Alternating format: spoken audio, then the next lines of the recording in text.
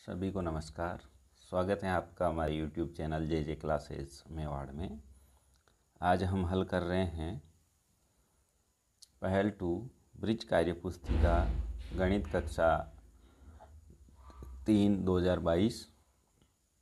आइए, इसमें हम हल करेंगे कार्यपत्रक चौंसठ, पैंसठ, छियासठ, सड़सठ, अड़सठ और आंकलन आठ का हल।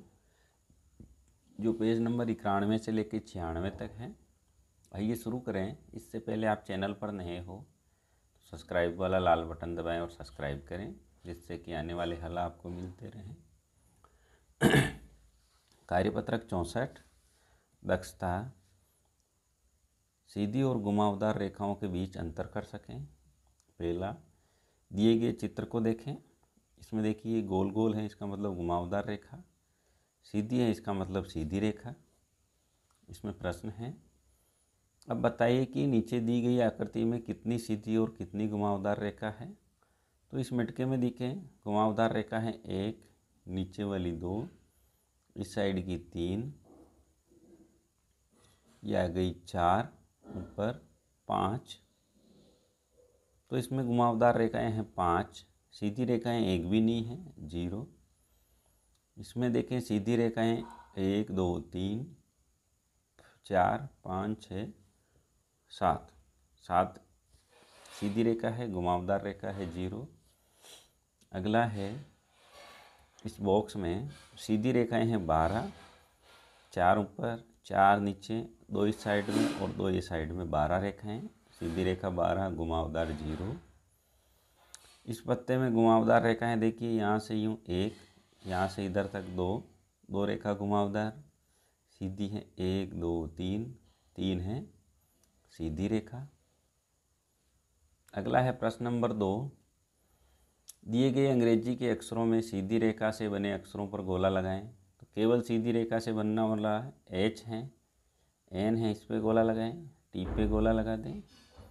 तीसरा है दिए गए अंग्रेज़ी के अक्षरों में जो अक्षर सीधी और घुमावदार रेखा दोनों से बने हैं, उन पर गोला लगाएँ। सीधी और घुमावदार से डी, जी और पी तीनों पे गोला लगा दें। कार्यपत्रक पैंसठ देखते हैं। दक्षता, द्विआयामी आकृतियों की पहचान कर सकें। पहला, आकृतियों को देखकर आकार के आधार पर संख्या लिखें। अब इस आकृति में हमें देखिए, आकार है गोला। गोले कितने हैं इस चित्र में देखें गिनने हैं। तो इसमें गोले हैं एक, दो, तीन, चार, पाँच छः सात, आठ, नौ, दस, यहाँ लिखे दस गोले।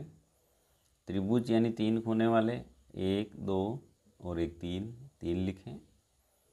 आयत यहाँ है देखिए, एक, दो, तीन, चार, पाँच छः छः आयत। और वर्ग है एक, दो, तीन तीन लिखें। प्रश्न नंबर दो, समान आकार की वस्तुओं को मिलाएँ। इस वर्ग को वर्ग से मिला दें, त्रिभुज को त्रिभुज से मिलाएँ, गोले को गोले से, आयत को आयत से और इस त्रिभुज को त्रिभुज से मिला दें। कार्यपत्रक छियासठ, दक्षता द्विआयामी आकृतियों के कौन और कौन किनारे की पहचान कर सकें। कोने और किनारे की पहचान कर सकें। निधि के पास कुछ आकृतियाँ हैं। इन्हें पहचान कर तालिका भरने में मदद कीजिए। यह है आयत, त्रिभुज, वर्ग और वृत्त और वर्ग। आकृति है, यह है, देखिए, यहाँ आयत लिखा हुआ आयत। आयत कैसा है? इसका नाम है आयत। कोने कितने इसके एक, दो, तीन, चार। भुजाएँ कितनी? एक, दो, तीन, चार। चार भुजाएँ। वृत्त है, इसमें ज़ीरो कोने ज़ीरो भुजाएँ। त्रिभुज में तीन कोने हैं? तीन भुजाएँ हैं। एक, दो, तीन तीन भुजा। वर्ग में चार कोने और चार भुजाएँ। प्रश्न नंबर दो। मिलान कीजिए। इसको मिलान करना है चार कोने और चार भुजाएँ से इसको मिलान करना है तीन कोने तीन भुजाएँ से। इसको मिलाना है शून्य कोने शून्य भुजाएँ। इसको मिलाना है चार कोने और चार बराबर भुजाएँ। कार्यपत्रक संसठ दक्षता, त्रिआयामी आकृतियों के तल को छाप कर द्विआयामी आकृतियों की पहचान कर सकें।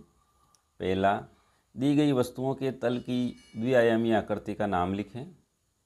यह वृत्त, वर्ग आयत, यह है त्रिभुज, वस्तुओं के नाम और आकृति, यह है कटोरी, वृत्त जैसी, माचिस की डिब्बी, आयत जैसी, गिलास व्रत जैसा, रबड़ है, आयत जैसा, पतंग है, वर्ग जैसा, पासा है, वर्ग जैसा, फूटा या स्केल ये है आयत जैसा, कप है, वृत्त जैसा, पुस्तक होगी हमारे आयत की जैसी।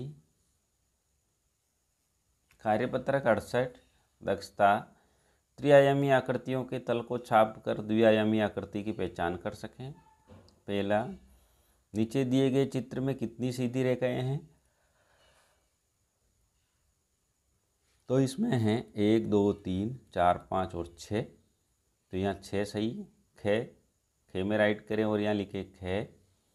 अगला है, नीचे दिए गए चित्र में कितनी घुमावदार रेखाएँ हैं? तो एक, दो, तीन, चार और पाँच।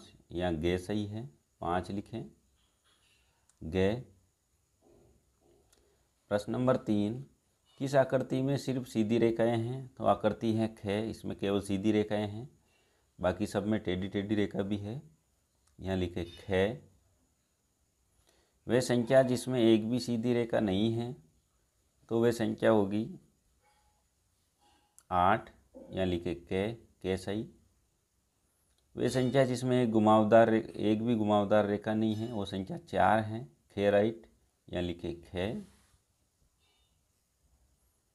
आकलन आठ, पतंग में कुल कितने कोने हैं? सही उत्तर पर सही का निशान लगाइए।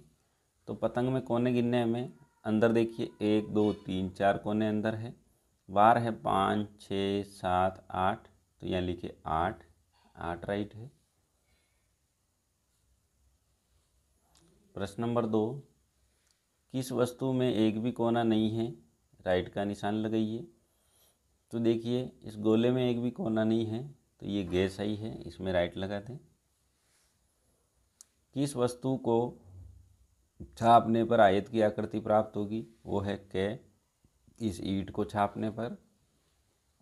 अगला है चौथा, किस वस्तु को छापने पर वर्ग की आकृति प्राप्त होगी? इसमें के राइट है, इसको छापने पे वर्ग मिलेगा। ये था कार्यपत्रक चौंसठ, पैंसठ, छियासठ सड़सठ अड़सठ और आकलन आठ का हल। स्क्रीन पर जो प्लेलिस्ट का चित्र दिख रहा है, इस प्लेलिस्ट में हमने सभी कार्यपत्रक और सभी आंकलन के हल करके एक साथ डाल रखे हैं। यहाँ से आप सभी के हल एक साथ भी देख सकते हैं। हल अच्छा लगा हो लाइक करें शेयर करें चैनल को सब्सक्राइब ज़रूर करें। धन्यवाद।